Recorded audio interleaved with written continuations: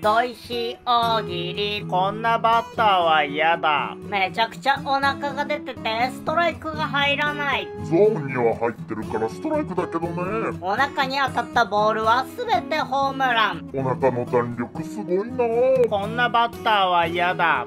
バッターボックスに9人一気に。こんなにいたら打てないでしょバッターボックスに最後まで残ってた人が勝ちっていうゲームだから。もう野球じゃなくなってるなこんなバッターは嫌だ。バットの持ち方足で挟む。